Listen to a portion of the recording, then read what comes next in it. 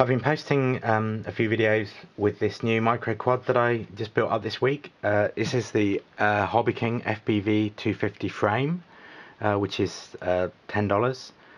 Uh, the frame is one piece. Um, it's really, really robust plastic.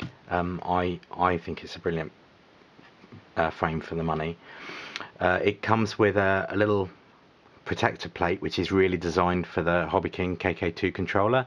So if you're using any other controller it may not fit but you could always make up a top plate using standoffs and a, and a piece of flat sheet of something. Um, the thing I like about it is that it's cheap and it's really robust. Um, I've got the RCX 1804 2400 kV motors from RC Mart. I chose those because they do clockwise and anti-clockwise motors and threaded screws uh, props so that the um, the props are self-tightening which I really like on the DJI Phantom and it's something that I wanted on on the quad if I could. Um, I'm running the Gemfan 5.3 props which are perfect and I'm running a 1300 3S LiPo which uh, which is fine. Um, it's a bit of a squeeze getting all of the FPV gear on. I'm using Afro 12 amp ESCs because they came with the Simon K firmware and they fly really well. I bodged up a wiring loom because I, I wanted to try and reduce the weight and not have a. I normally use the multi-star looms, the uh, the three and a half mil pre-made looms like this. Uh, I like the six way because you've got a couple of spare um, sets of connectors for um, running cameras or FPV gear or whatever you want. Um, but I wanted to try and save weight on this, so I soldered up the the wiring, which I, am not 100% happy with, but it, it does work, and it is pretty lightweight. Um, the FPV gear, I'm running two cameras.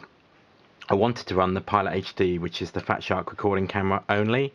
However, it it has about 200 milliseconds of latency, which I tried and I just can't get my head around.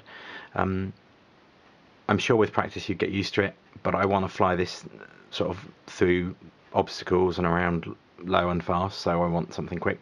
So I've got the Fat Shark 600 TVL camera, which uh, which I'm using for the FPV feed, and then I've got the Pilot HD camera I've just fitted for recording because it's nice to have a video of the flights, both for you to look at when you crash and when you don't crash, and also to put on YouTube or whatever.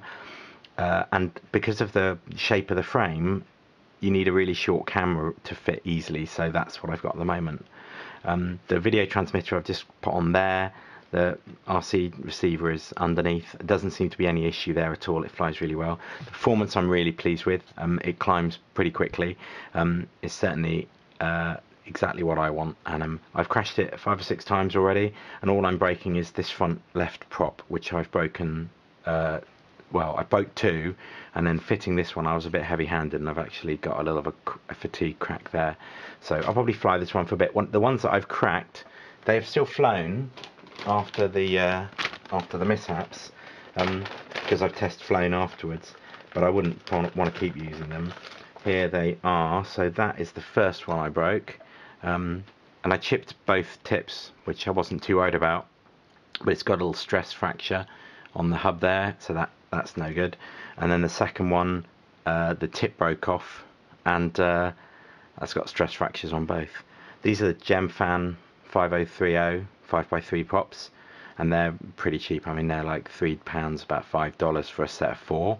Um, so I bought uh, four sets to start with, thinking they'd last me a while. But given that I keep breaking the same corner, I've ordered um, five more sets today. Uh, hopefully, I will um, I'll break some other ones and otherwise I'll end up with a load of spares. So that's my mini review and uh, hope that's useful.